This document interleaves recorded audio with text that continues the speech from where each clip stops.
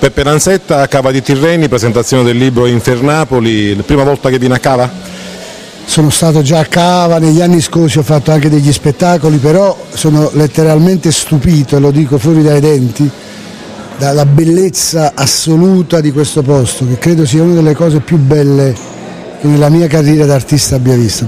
Quindi devi, andare a Berlino, a Londra per immaginare un posto simile. Quindi ci sono venuto sapendo che era bello, però ho scoperto che è stupendo. Parliamo del libro, dopo il grandissimo successo del secondo libro, il primo libro era?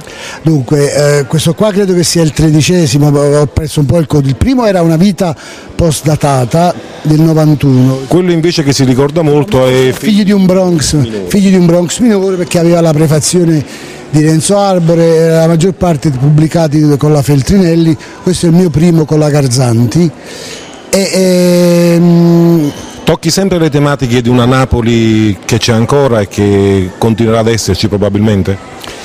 Guarda, io credo di sì, eh, sebbene in questo romanzo abbia fatto un tentativo, quello di eh, bypassare Napoli. C'è un regista argentino che mi ha eh, chiamato per una eventuale trasposizione cinematografica di questo lui è di origini italiane e mi ha detto la cosa che mi è piaciuta in questo romanzo è l'universalità dei sentimenti, quindi io mi sarei allontanato da un cliché dove Napoli diventa l'ombelico del mondo, ma ho cercato di lavorare su quello che è l'estensione e l'allargamento dei sentimenti.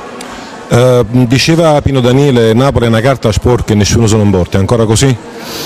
Napoli è tanto, è tanto di più, tanto di meno, ma voglio dire è il crocevia di ogni etnia possibile, ma è l'unico luogo dove ancora se vuoi puoi trovare un refolo di umanità e io mille volte sono andato via, ma mille volte sono ritornato, un rapporto ondivago, conflittuale con la mia città e in queste pagine eh, esce fuori con grande, con grande forza. Ecco. La tua il Metti un pot di Napoli esce fuori nell'ultima pagina in cui ringrazi le Santanne, le varie, le varie Santanna. Sì, in realtà eh, all'interno di questo romanzo, che è la storia di un boss, io non ho voluto parlare di un boss, ho voluto parlare della sensibilità e della fragilità di un boss, il rapporto che lui ha con le tre figlie. Siccome questo boss è atipico perché eh, prima uccide le persone e poi ascolta Maria Callas e piange, lui ha chiamato le sue tre figlie, una Maria Sole, una Maria Stella e una Maria Luna, in onore a Maria Callas.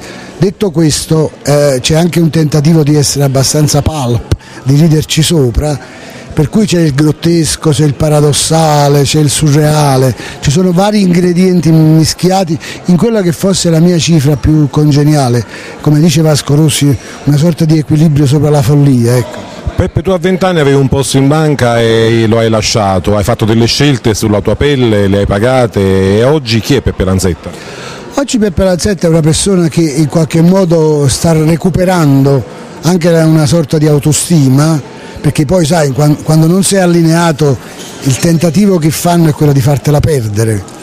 Grazie ai figli di quelli che in qualche modo mi osteggiavano oggi io ho recuperato tante cose belle, ho capito che forse ero leggermente avanti coi tempi e ho dovuto ahimè aspettare che certe cose come le mele, le nespole maturassero. Eh, Napoli ha bisogno di tante cose, secondo te oggi la cosa di cui ha bisogno di più Napoli qual è? Secondo me quella di cui ha sempre avuto bisogno, dignità e lavoro. E la tua ricetta per uscire fuori da un inferno? Io credo che Napoli rimarrà sempre un inferno, nonostante tutto, perché l'idea dell'inferno è insita nella cultura, secondo me, della, di una città eh, angelica e diabolica. Però sostanzialmente, come ti dicevo prima, eh, se uno sceglie di viverci e di rimanerci è perché altrove ha visto altri inferni, tant'è che la protagonista, cioè una, una delle figlie del boss, scappa via e se ne va a Londra cercando di trovare una, un respiro e capisce che va incontro ad altri inferni. Quindi lei capisce che la vita continua e la guerra pure. Sostanzialmente questo è il senso dell'esistenza.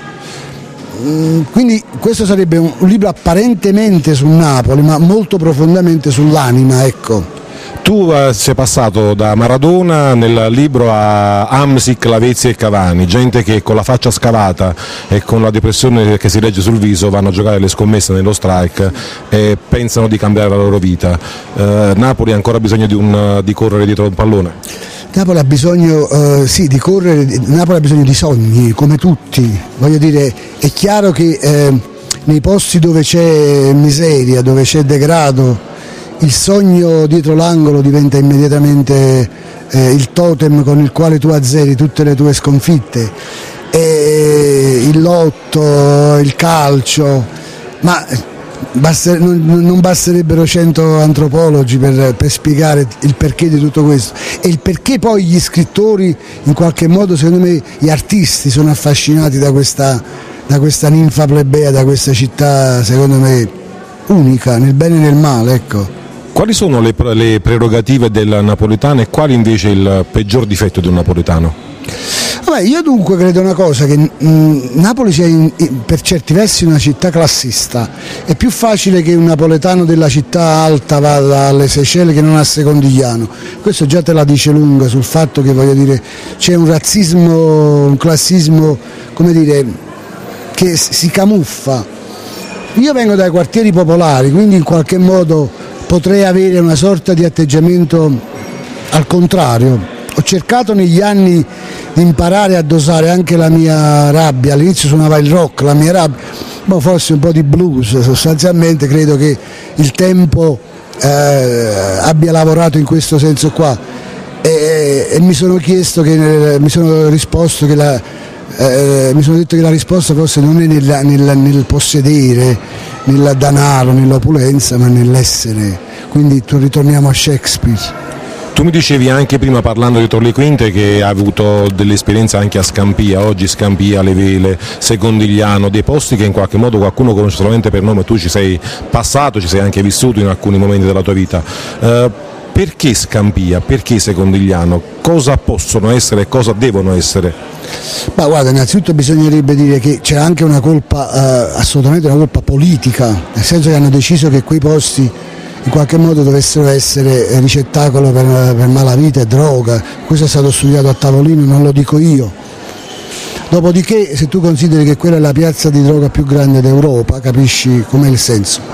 Però c'è della umanità straordinaria, c'è della gente straordinaria, c'è gente che fa volontariato, c'è gente che lavora sul sociale, c'è gente importante, ci sono dei presidi di legalità io una decina d'anni fa ho fondato un gruppo che si chiamava I ragazzi del Bronx, poi la politica voleva comprare, in qualche modo volevano metterci il cappello, io poi da buon ribelle me lo sono difeso e uno dei, dei ragazzi che componevano questa band, questo gruppo, oggi fa il produttore cinematografico, 12 anni fa faceva le rapine. Cosa è oggi eh, Napoli per te?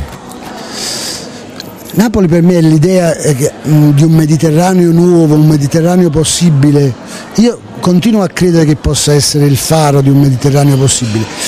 Um, un po' la fregatura eh, l'abbiamo presa con la nostra sinistra, eh, io ho sostenuto, e questo lo dico fuori dai denti, però voglio dire, oggi ehm, sono rimasto molto deluso da, da quello che si poteva fare e non si è fatto l'arte poteva molto, ma non l'arte contrabbandata eh, attraverso so, i posti tipo il Madre. Eh, io parlo di arte eh, eh, come strumento che tu dai alla gente, al popolo per prendere coscienza.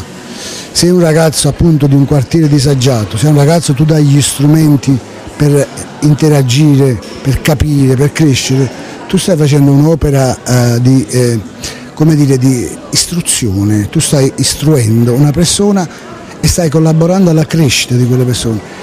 Eh, Chavez in Venezuela ha messo le donne del popolo nel comune di Caracas, ai bambini nelle, nelle scuole ha imposto di studiare internet, di andare con i computer cioè io credo che un mondo, un'idea nuova di mondo ci possa essere. Dobbiamo uscire da un individualismo, da un personalismo e dobbiamo uscire dalla politica della, dell'arraffare, dell'imbroglio e della, della corruzione che ci ha portato dove stiamo.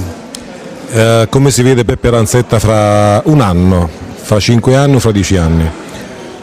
Ma guarda, già è tanto se mi, se mi vede.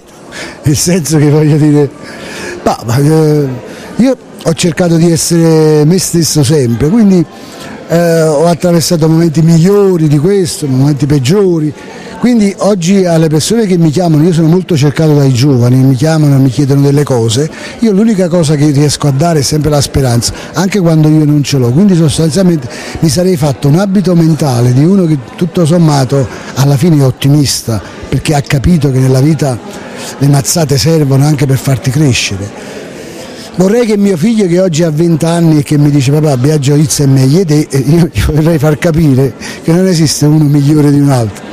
Poi è andato su Twitter e ha capito che Biagio Izza è un mio fan, ha detto ma, ma che sta succedendo? La verità dove sta?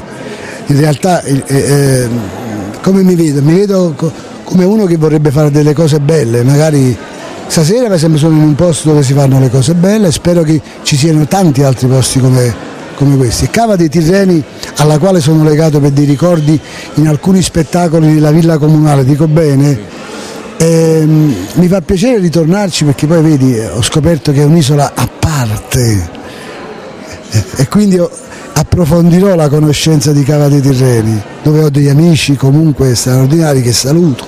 Detto questo spero che eh, Infernapoli vi possa piacere e speriamo che diventi film, questo è l'augurio che mi faccio. Ecco. Questo l'augurio che facciamo anche noi, ma ci piace Peppe Lanzetta, quindi ci piacerà sicuramente anche il libro. Grazie e ben, benvenuto di nuovo a Cava dei Tirreni. Grazie a voi, buona serata.